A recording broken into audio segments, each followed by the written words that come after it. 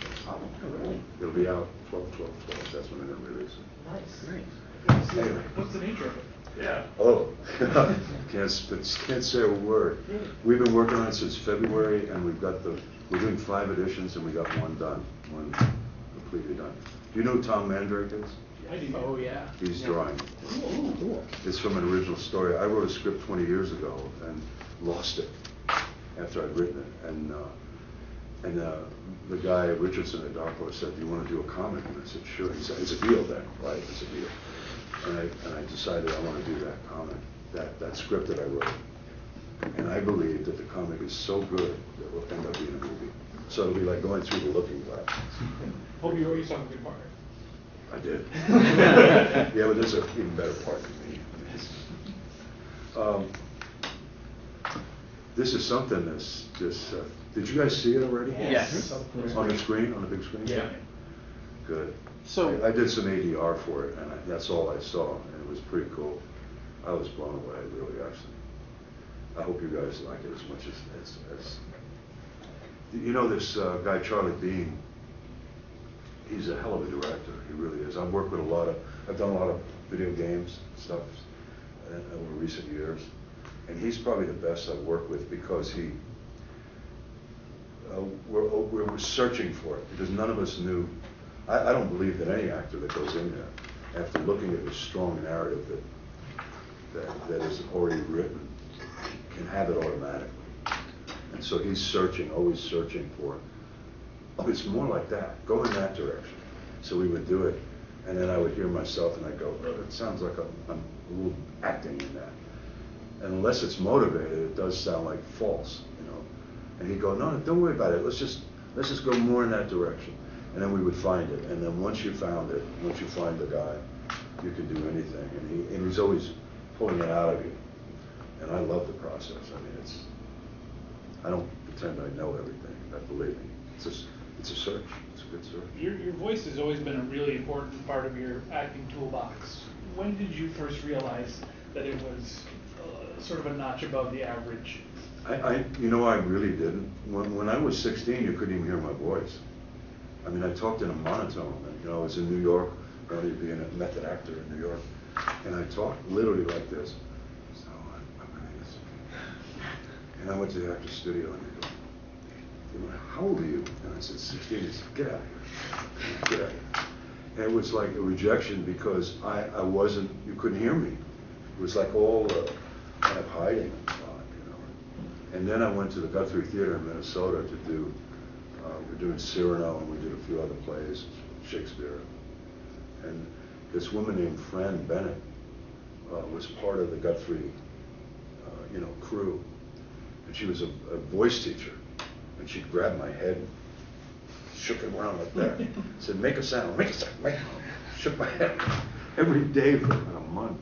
And finally my voice went, came out. And I went, stop it. She was like- it was really true, man. She was brilliant.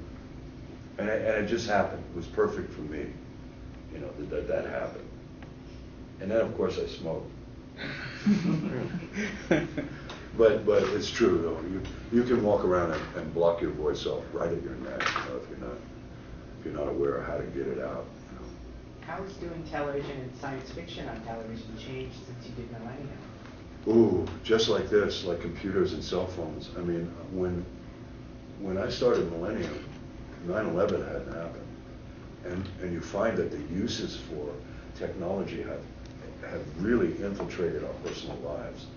I mean, in a major way. I mean, they're micromanaging us now. You know, that's what I feel. I mean, I, I'm not a radical, but I feel that we need to you know, I, I don't think that that's the right thing, you know, to get into our lives to that degree. And technology is doing it, helping us do it. You, you can, in your new driver's license, when you drive by, they can have a truck on the side of the road that knows everything about you from your driver's license. It will not only find out about all of, you know, you know, all the stuff, but it has a chip in it, they read it, and then they go into a bank of information, and everything. That's not right. What happened to the lonesome cowboy that nobody knew who was, you know, knew, nobody knew who he was. Anyway, Tesler, to me, is a personification of of self-doubt and, and, and power, megalomania. When, when, when I say self-doubt, everything frustrates him.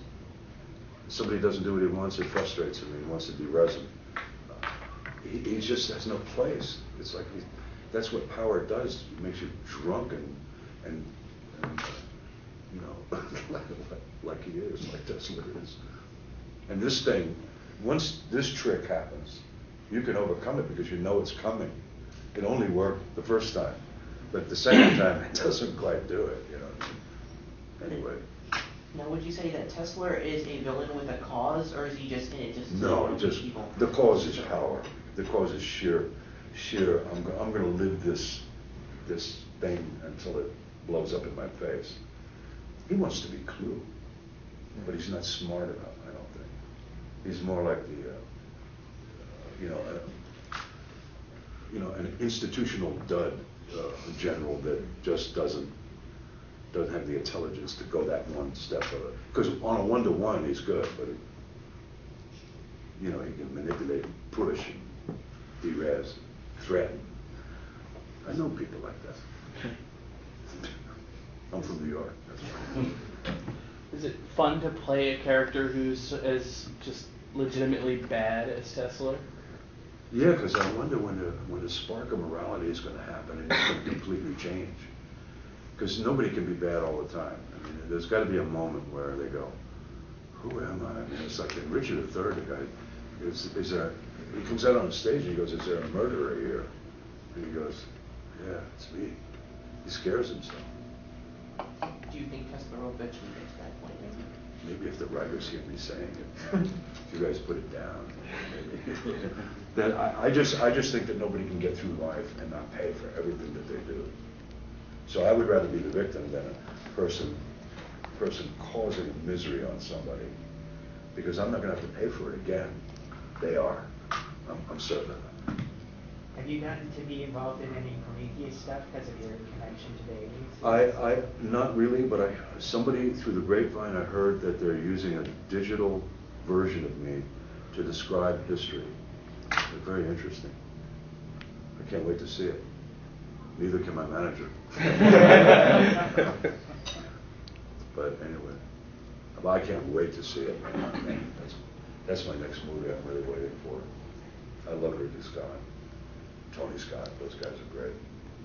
You've done, you've done a lot of science fiction projects throughout your career. Now they, they are mainstream. What's it been like as an actor to watch these movies that, you know, were, were sort of special off on their own audience and now everybody loves that? You know, that all changed when Alien came out. Not Aliens, but Alien. I remember uh, there had been a, a few real A attempts at an A movie, like, you know, Voyage into the Blood, you know, remember that? one? They had a ship that went down and the guys, it was cornball. I mean, compared to Alien, that was the first, like, seriously, we're gonna tell you a, a story that, and it looked real, every aspect of it, you know. From then on, it started to happen. Movies got better and better and better and more, and more science fiction and more risky, you know, and even better actors were doing them, you know.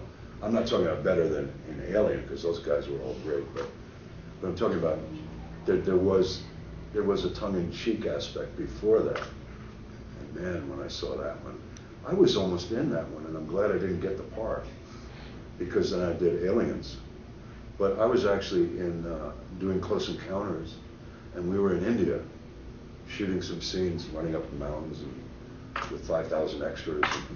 But I, I was supposed to meet Ridley Scott to play one of the roles, and I, I'm glad it never happened, because I would have, they cast it. That's, life takes those turns, that's for sure. What? We have time for one more question. Oh, God, really? Am I babbling on?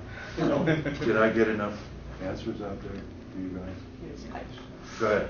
That, uh, just- you mentioned that, you know, science fiction has come all this way. Now, you know, you've seen how uh, Tron Uprising has been in terms of anime. Do you think animation's also doing the same thing right now? It is, it is, even comic books. They're, they have a, they have a way of doing comic books now that they're gonna do on the iPad, where it's got a very small amount of animation, like rain or wind or across a beautiful drawing. And if you touch the drawing, you hear the voices. So there's no more bubbles. It's like, that's so cool. That's a, that's an evolution. Do you think people taking it more seriously nowadays? And just like they. I know they're gonna take my comic more seriously. Yeah, I think, I think, yeah, I do, I do. I, there are many more stories to tell than superheroes, many more. If, if, if we dare, I mean, I, I decided to do this comic for one dollar. I wanted, I said to I'll do the comic, but I only want one dollar.